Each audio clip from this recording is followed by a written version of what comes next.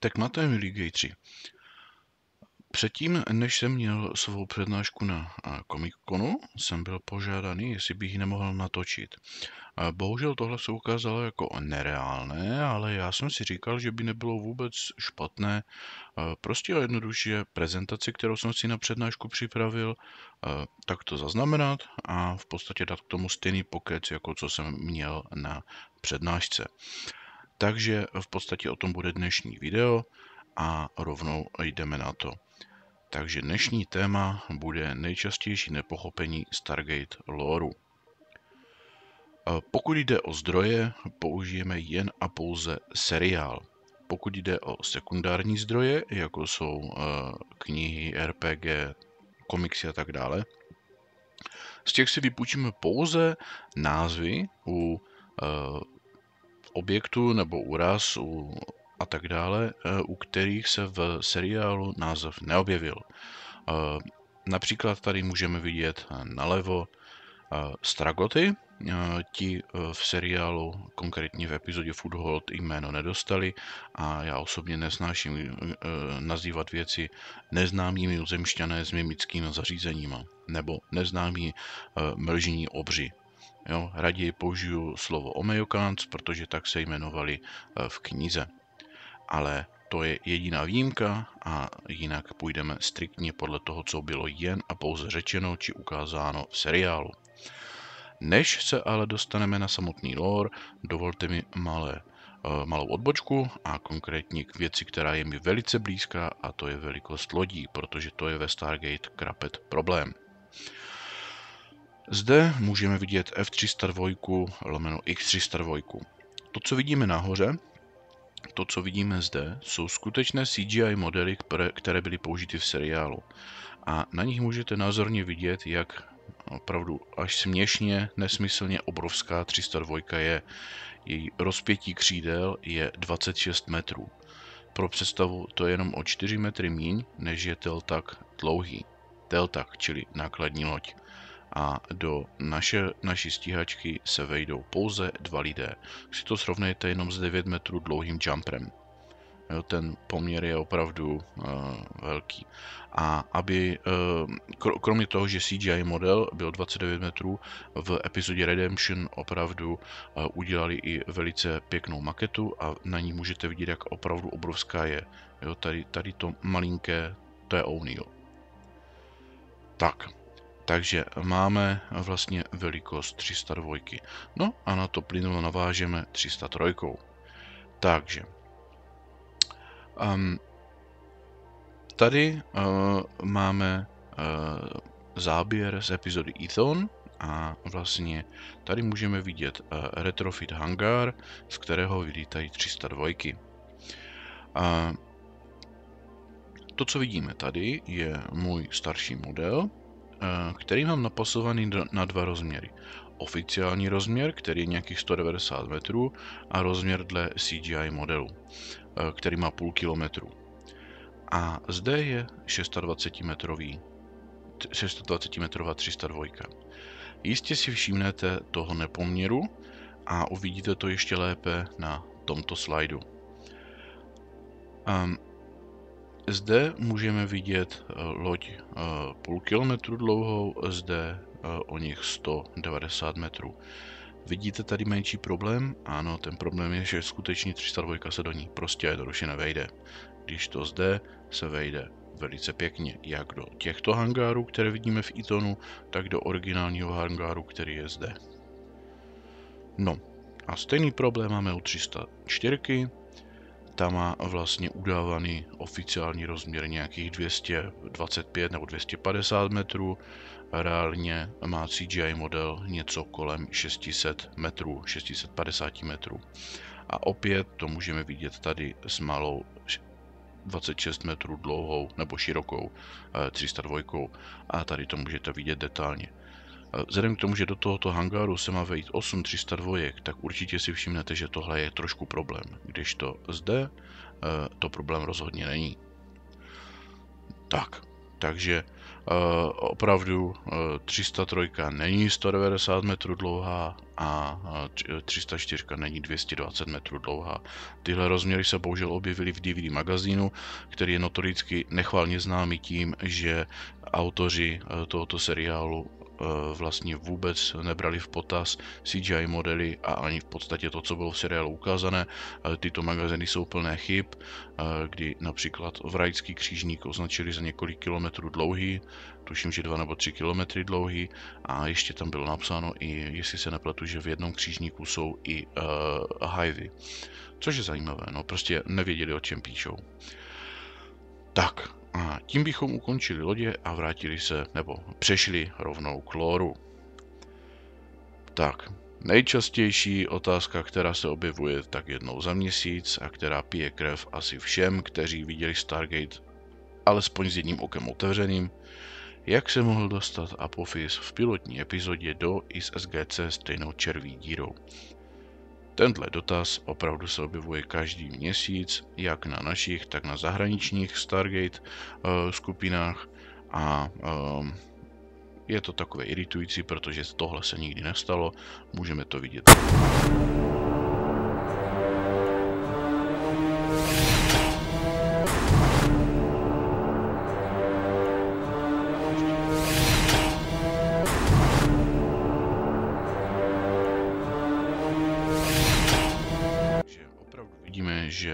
Červí díra se vypla a, a Pofisovi vojáci se nevrátili zpátky stejnou červí dírou. Tečka. Tak, eh, na to navážeme druhou, eh, nebo přidavkem k téhle otázce a jak se mohl Apophis dostat z SGC, když neměl DHD. Hm, já bych k tomu řekl jen toto. Lidé začali manuálně vytáčet bránu už v první sezóně to znamená měli pouze několika měsíční zkušenost. Guauli používali brány tisíce let. Eh, proč je takový problém eh, přijmout fakt, že dokázali vytáčet manuálně, když byli s technologií brány tak intimně seznámení. Nemluvě o tom, že v, ve filmu Continuum se ukázalo, že mají i eh, velice snadnou technologii, která je vlastně tady tento uh, remote dialer, který dokáže bránu uh, napájet a vytáčet adresy. Takže já v tomhle opravdu absolutně žádný problém nevidím. Mimochodem, lidi dokázali manuálně vytáčet bránu už v roce 45. Opravdu nechápu, proč by Goauli měli s tímhle problém. Jdeme dál. Uh, co se dost často objevuje v nepochopení toho, eh, co je ve Stargate loreu, je epizoda 100 Days a jak se tam chová brána. Eh, všimněte si, že tady nemám obrázky z oné epizody, ale mám obrázky z eh, dvou epizod, které přímo na tuto epizodu nějakým způsobem navazují, pokud jde o chování brány. Takže jenom připomenu, epizoda 100 Days je ta epizoda, kdy bránu, eh, aktivní bránu zasáhne meteorit, pohřbí a vlastně O'Neill uvízne na 100 dní na planetě a SGC se ho snaží zachránit. Eh, spousta lidí vidí v tomto veliký problém, protože eh, bylo jasně řečené, že když zakopeme bránu, tak ji tím vlastně vyřadíme z provozu, což je vlastně to samé, co udělali egyptiani po tom, co svrhli a vypudili Rá. Ano, to je sice pravda, jenomže tady je jeden velký rozdíl a ten rozdíl explicitně říkají v seriálu. Ten rozdíl je ten, že v době, kdy se brána zakopala, nebo kdy byla zakopána nebo pohřbena tím meteoritem, byla aktivní. To znamená, že veškerá hmota, veškerá hlína, veškerá suť a tak dále, která byla v kontaktu s horizontem události, se rozstavila, respektive zmizela a jakmile brána přišla o energii a vypla se červí díra, zůstala před ní de facto e, rovná plocha, která v podstatě fungovala jako přirozená iris. Proto tady máme vlastně snímeček e, z epizody Serpent Song, kdy přesně tohle zažilo SGC, kdy vlastně Sokar útočí na Iris tím, že bránu bombarduje urychlovačem částic a vlastně konkrétně subatomárními částicemi, které uh, Iris zahřívají. A přesně o tohle se snažili v této epizodě. V podstatě nažhavit a rozpustit tuto přirozenou iris, vlastně tu rozstavenou horninu, tak, aby se dokázal vytvořit kouš, tedy nestabilní vortex. Protože víme, že ten se nevytvoří, pokud je něco velice blízko horizontu události. Tohle bylo nejen zmíněno, ale ukázáno už úplně v první pilotní epizodě a trvá to v celé době. Nejen s bránou, v SGC je to vidět i například s bránou na Atlantis, která má štít. No a ten první obrázek, který tady mám, tak ten je z epizody 48 hodin, kde Tialk uvízne v bráně. A v podstatě tady se snaží chlapci o to, aby v podstatě vyřadili bránu z provozu, protože když by někdo zadal bránu naší SGC, a došlo ke spojení, vymazal by se Tialkův otisk. Takže co oni dělají? Oni dělají to, že posouvají iris o těch několik mikrometrů, aby vlastně zakryli veškeré emitory červí díry a tím pádem vlastně simulují to, že je brána, zak- eh, že je brána zakopaná. Zajímavé je, že posunují iris o několik milimetrů tím, že mají flexu, ale to už je vedlejší. Takže v podstatě tady jde o to, že ano, pokud všechny eh, vnitřní emitory červí díry jsou zakryté, překryté, eh, ucpané, eh, červí díra se nevytvoří, je prána je vlastně de facto zakopaná. Pokud je ale něco před emitory, ne přímo mezi nimi, tak se brána vytvoří, ale vlastně de facto to funguje jako iris. Jdeme dál. Eh, další, co se objevuje velice často, tak je tvrzení, že drony proniknou každým štítem. Ne, není to pravda, není to pravda a ještě jednou, není to pravda. Eh, v seriálu jsme jasně viděli, že drony opravdu ignorují goaulské štíty, ale jen a pouze goaulské štíty. Máme tady příklad. Antické, asuranské, orajské a asgardské. Tak, a začneme hnedka antickými štíty a touto krásnou ukázkou.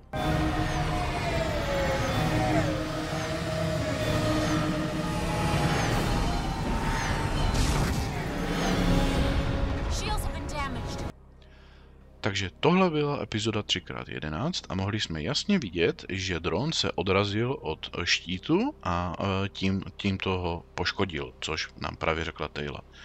Jistě uznáte, že tohle by bylo nemožné, pokud by drony pronikly a ignorovali každý štít. Takže antický štít rozhodně neprojdou. Pokud samozřejmě nejsou vystřeleny z něj, vys, eh, když například střelí Atlantis. Eh, asuranské štíty. Ano, můžeme namítat, že je to to samé jako antické, ale já jsem to tady přidal. Um, epizoda um, 3x20, uh, v podstatě eh, asuranský satelit eh, napadne Atlantis a eh, jakmile zjistí plukovník Ellis, že je celý tento satelit obán štítem, Rodny zmíní, že je úplně jedno, co by to stříleli, protože ten štít je napájený z hvězdné brány stejně jako ten paprsek. Všimněte si prosím, že během epizody ani jednou nevystřelí dron, i když je mají. Proč? No, protože by to nemělo smysl. Což jak si uh, jde velice proti tomu, že by uh, drony ignorovaly štíty. Takže evidentně ne. Další tady máme orajské štíty.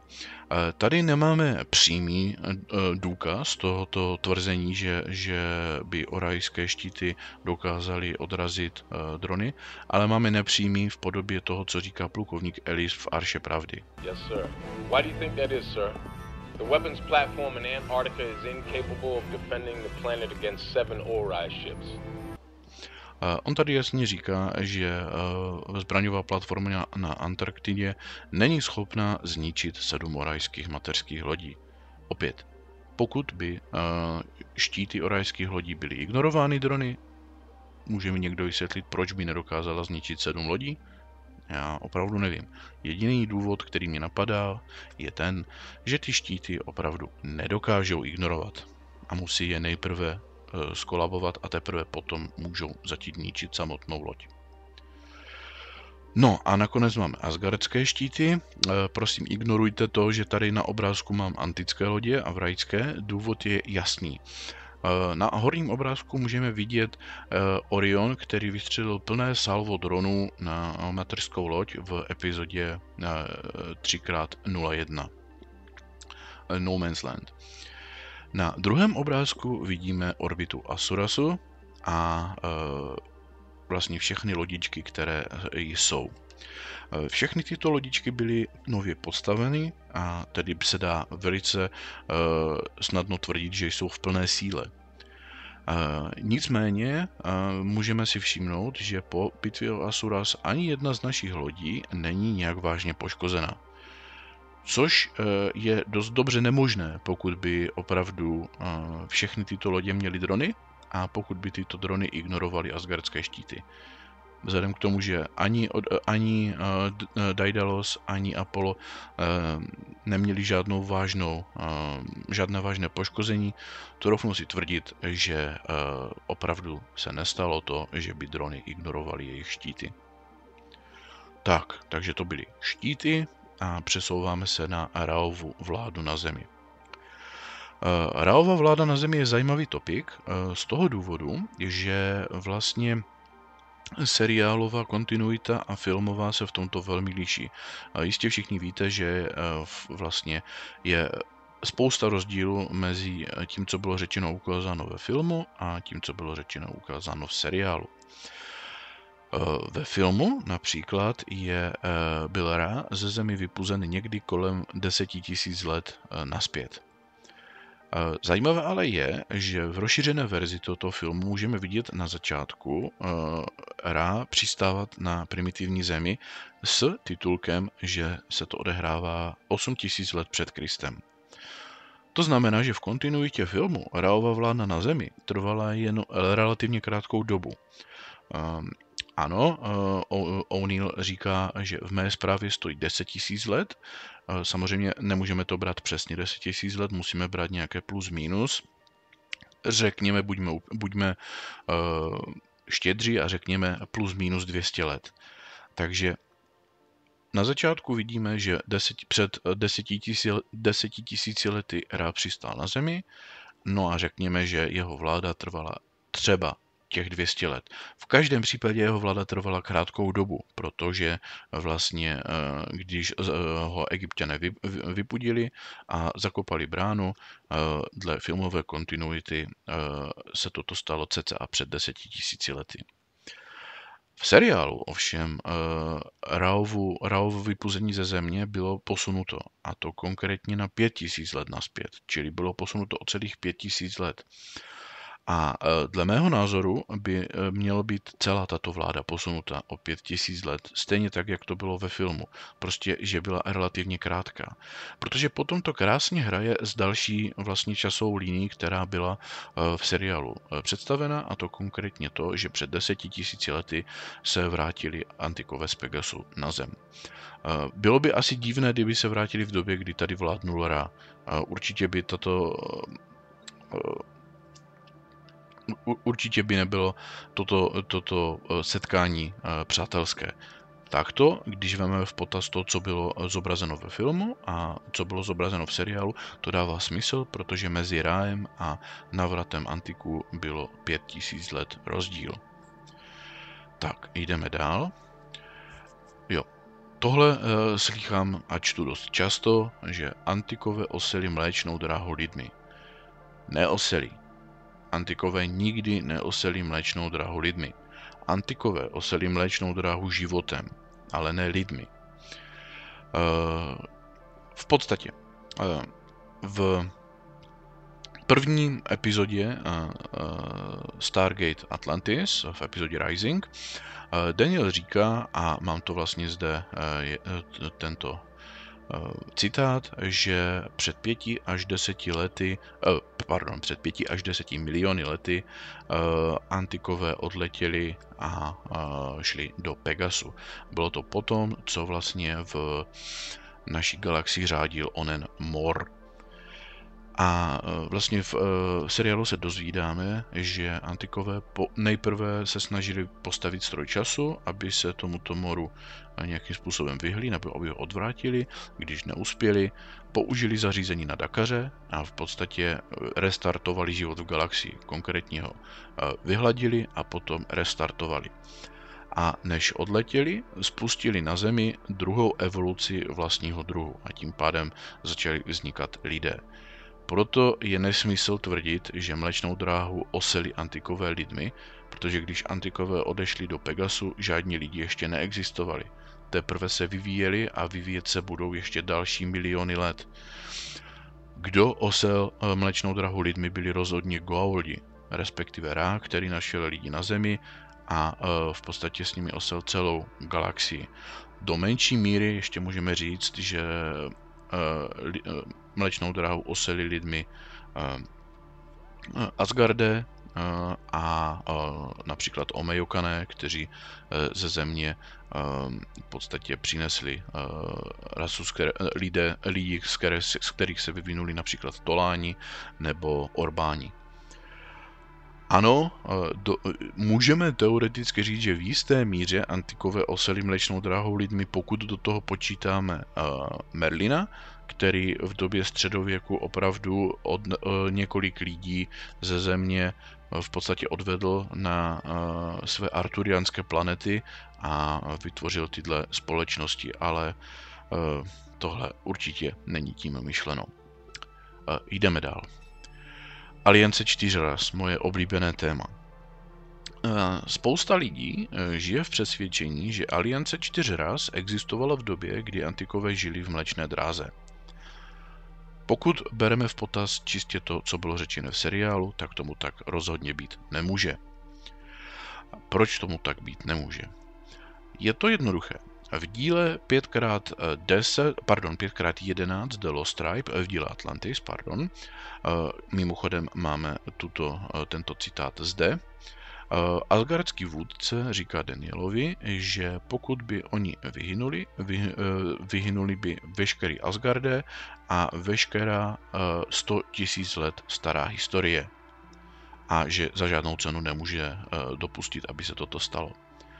Všimněte si prosím, že tam jasně říká, že jejich civilizace je 100 000 let stará.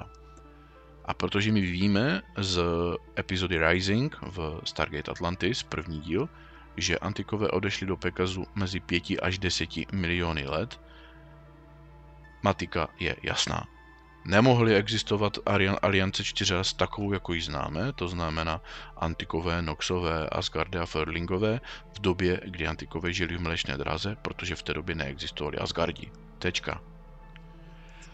Ano, eh, slyšel jsem takový pěkný comeback. Eh, jak to, pro, proč eh, si myslím, že ten vůdce těch vanirů mluvil o všech Asgardech? Proč nemluvil, že, že mohl mluvit jenom čistě o vanírech a jejich historii?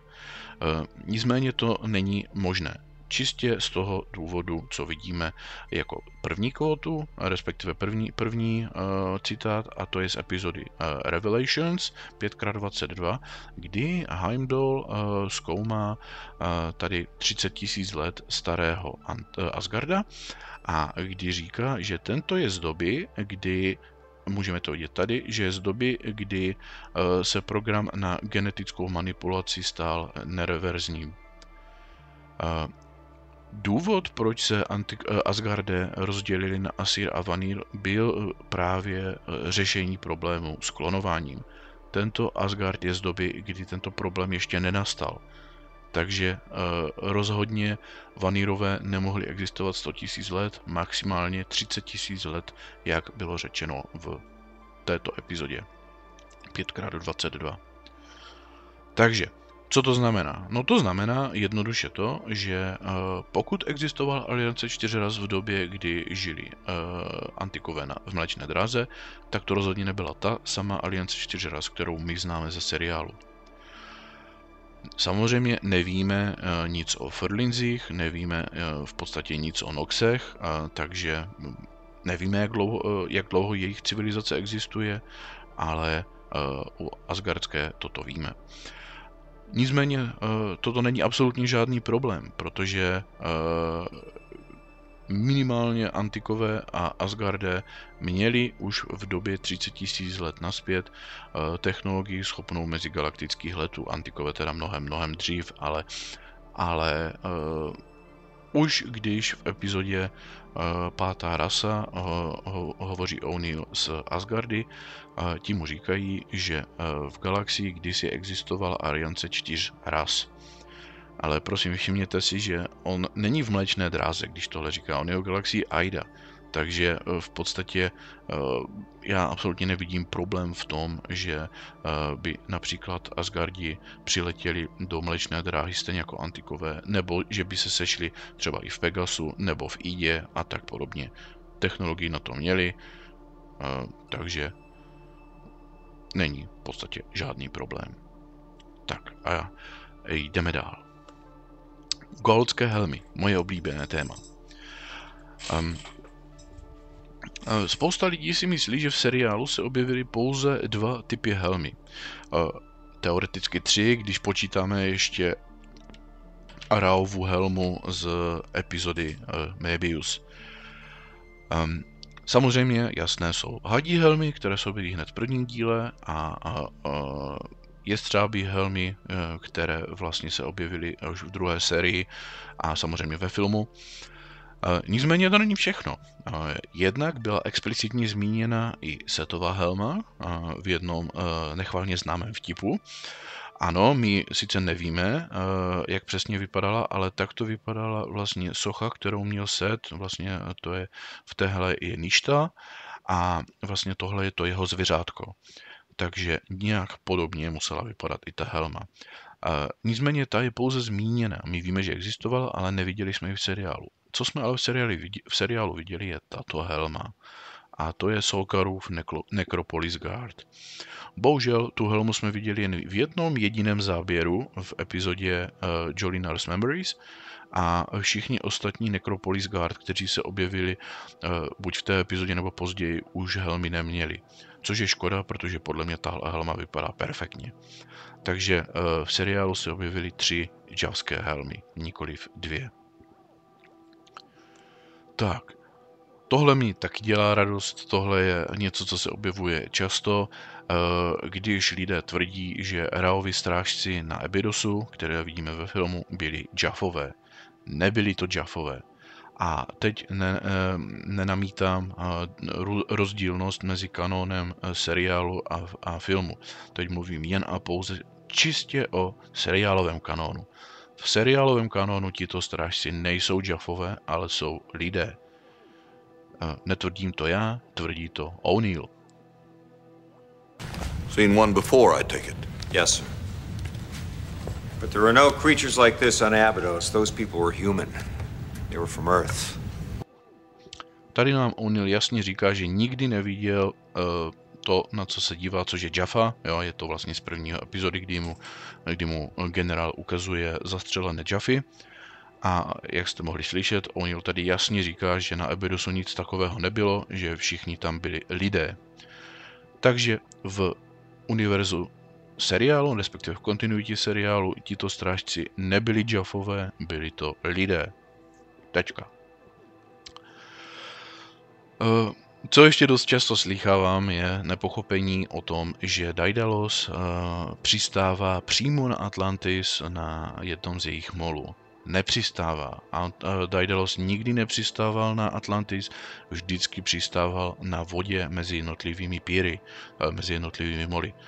Já jsem udělal to, že jsem tady tento záběr zpomalil a navíc jsem ho přetočil, eh, že jde pospátku, aby bylo jasně vidět, eh, jak vlastně Atlantis stoupá z vody. Eh, pardon, jak Daedalus stoupá z vody. A prosím, všimněte si této oblasti a této oblasti. A všimněte si, že jsou částečně pod vodou a že se vynoří a samozřejmě, že se čeří hladina. Já myslím, že je to uh, celkem názorné.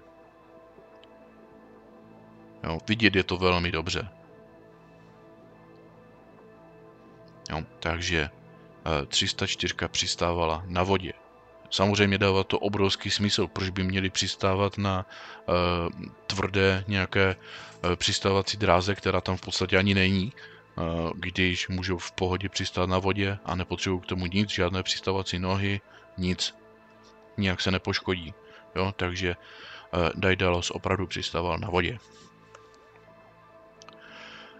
Uh, cestování červí dírou. Hm, nevím proč, ale pro někoho je toto problém pochopit, jak to funguje. A je to jednoduché a vlastně teorie byla ustanovena už ve filmu. Takže energie může cestovat červí dílou oběma směry.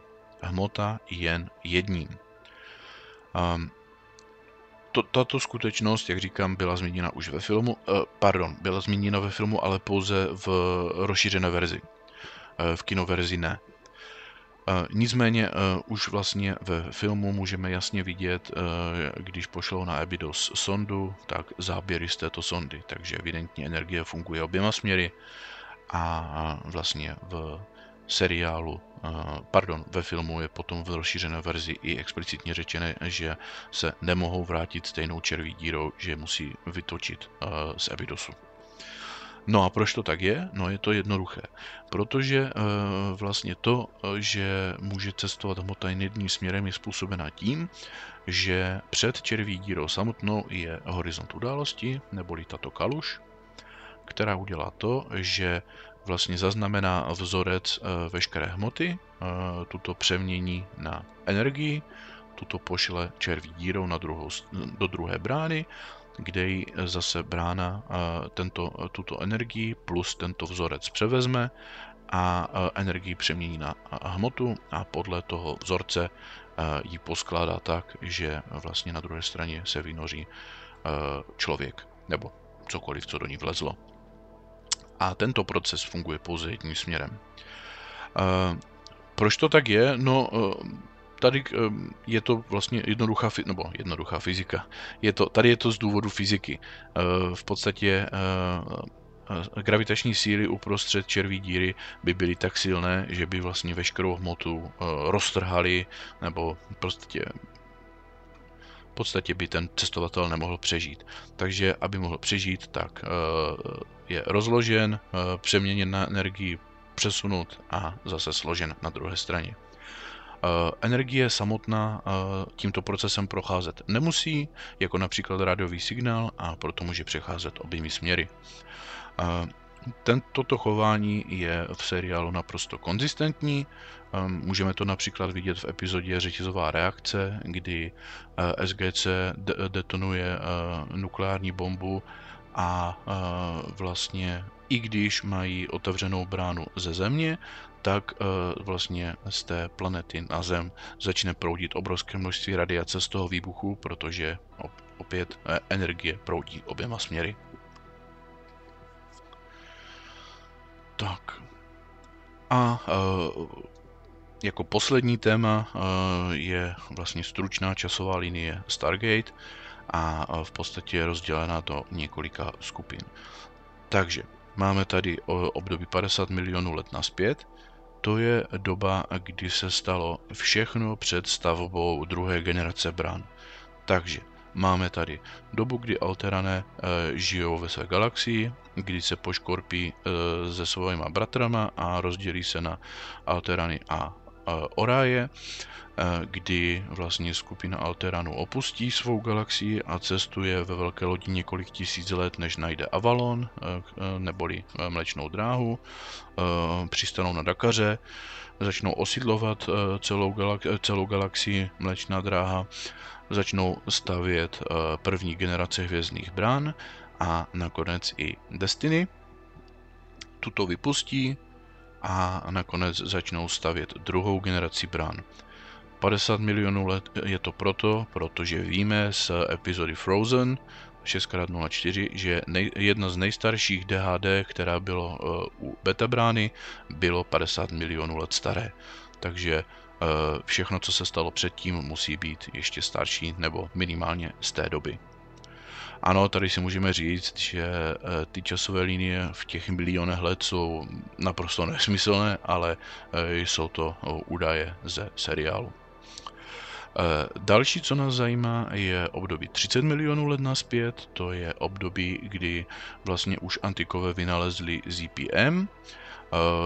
V téhle době vlastně opustili základnu Teonas na planetě Proklaruš. Nebo možná si to teď pletu a byla to základna Proklaruš na planetě Teonas. To je teď jedno. Každopádně v epizodě Lost City můžeme vidět, že opravdu už před 30 miliony let měli antikové tuto technologii.